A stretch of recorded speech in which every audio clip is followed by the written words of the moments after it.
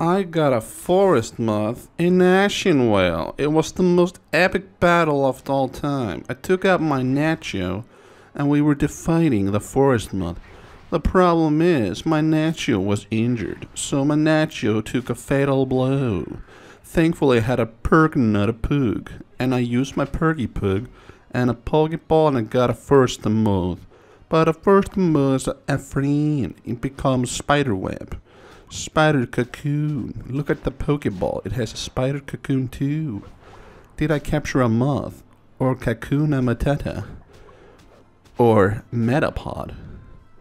And I got an Ashenvale and it was super exciting.